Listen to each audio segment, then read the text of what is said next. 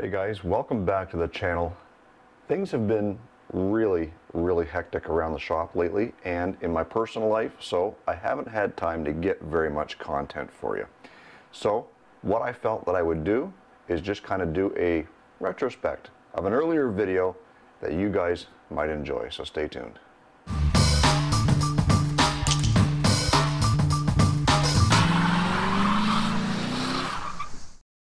Well, good morning, guys. It's Monday morning, and it's another start to the work week, and we have an alignment appointment to get to.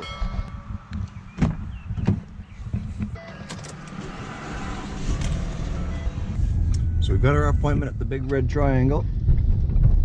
Back for number two.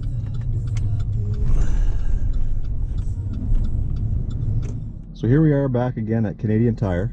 Canadian Tire is a place that I worked at for like seven years or better.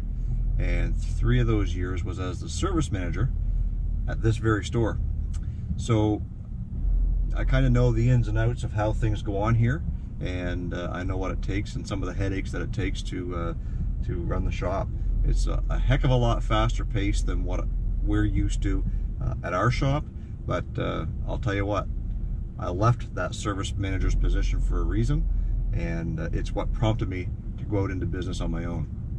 So um, I'm glad to be rid of some of those headaches, but because we do offer a shop and, and, service after the sale, I do end up running into some of that a little bit uh, these days. But nevertheless, uh, definitely a lot slower paced.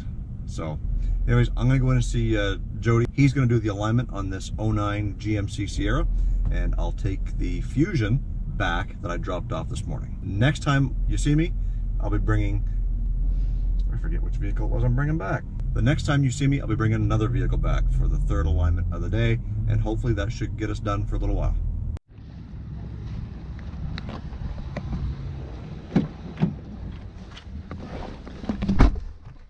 And we're back in the Fusion once again. Third and final call for an alignment.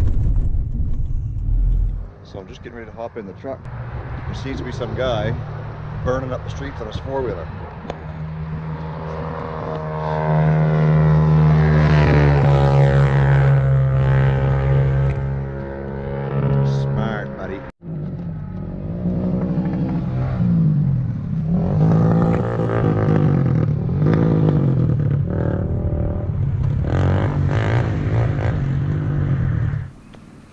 Well guys, we are at the shop today. It's Sunday and sometimes it's the only day I get to work on my own stuff. So today we're going to do an oil change on the old Mopar and uh, we're going to let you tag along.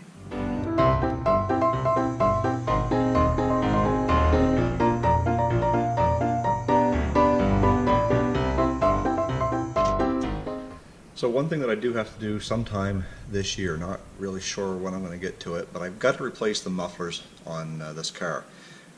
I think I blew one uh, about a year ago and it would get a little bit rattly once in a while and I'll show you the difference. This I think is the good one.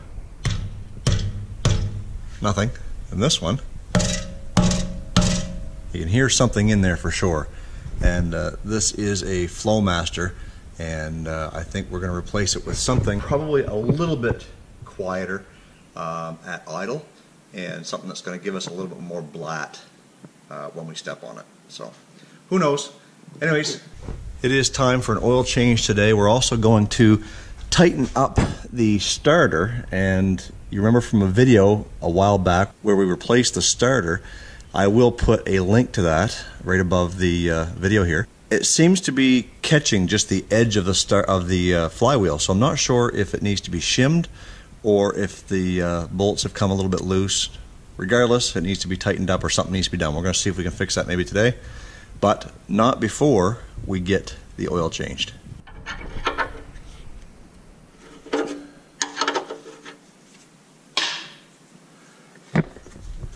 Let's see if I can do this without getting splashed.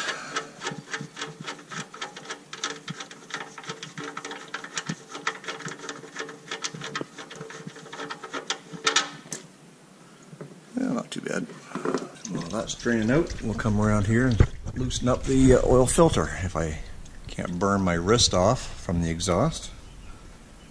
we'll be doing all right.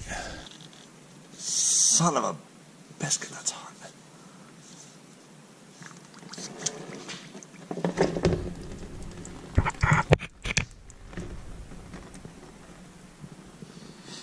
Might as well get that all over the exhaust too. That's undercoating right there. That'll help keep it from rusting, that stainless steel.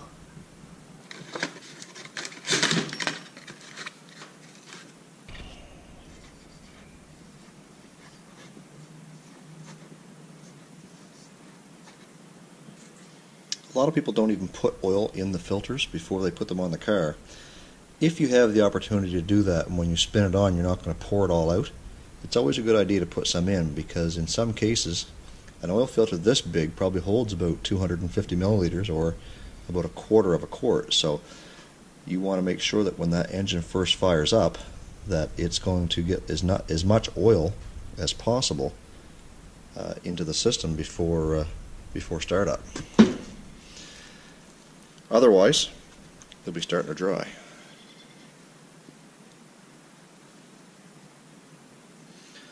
And always put a little bit of oil around that gasket so that when you screw it on, it seals nice and tight and the gasket won't bake itself to the motor because of the heat. So that when the time comes for your next oil change, you're not going to have a hard time getting the oil filter off because it's stuck to the motor. It'll actually have some lubrication in there and be sealed at the same time. So it's just preventative maintenance for the next time you do an oil change. Can't read the date on that, but it looks like June the 18th of 17. So I don't drive this car enough to put uh, an oil change on it every 3,000 kilometers. I do it just basically once a season, and depending on whether or not I do a lot of driving will depend on how many oil changes I actually do. So I only put probably maybe 1,000, 1,500 miles on this thing a year. But that's my own fault. I should be driving it more. So let's. Uh, I'm gonna have to put the camera down so I can get that other oil filter on because it looks like I'm gonna have to have two hands to uh, weasel its way up in there. So I'll set you down just for a sec. So got the new oil filter up in there. It's all tightened up. We've got the oil cleaned off the exhaust from where it dripped down. So now what we're going to do is we're going to grease all the ball joints and tie rods and uh, idlers, pitmans, all the good stuff and uh, make sure that everything's still good and tight there before we put the car down. I would show you all of that, but I am using my GoPro on the suction cup today and not on the clamp, so I got no place to clamp it. So maybe I can stick it over here.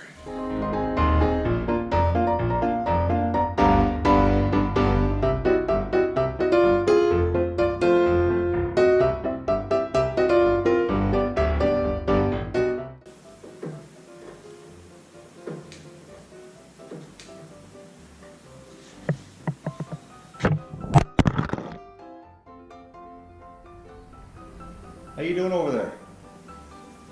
Everything okay?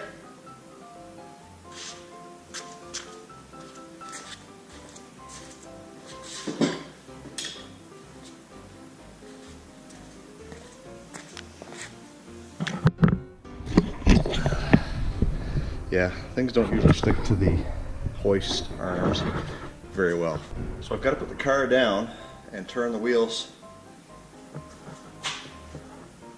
right a little bit so I can access the, uh, the grease nipples on the inner and outer tie rods and on the idler arm on this side. So because you won't stick, you can't watch. Okay, so oil change is done. All the grease fittings are all greased up. Front end is tight. So as far as the oil change goes, we are done. So what you didn't catch on video was me finishing up the greasing and putting the oil into the engine. Started up, everything's fine.